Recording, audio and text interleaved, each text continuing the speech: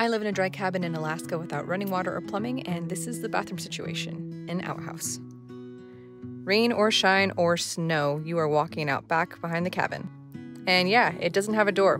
Why? I don't know, I just rent here.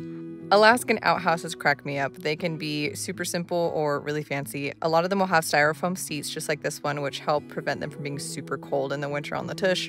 In the fall, a lot of leaves will get in here, and in the winter, just a little bit of snow will track in, but I don't worry about drifts or anything like that. I took these videos back in the fall.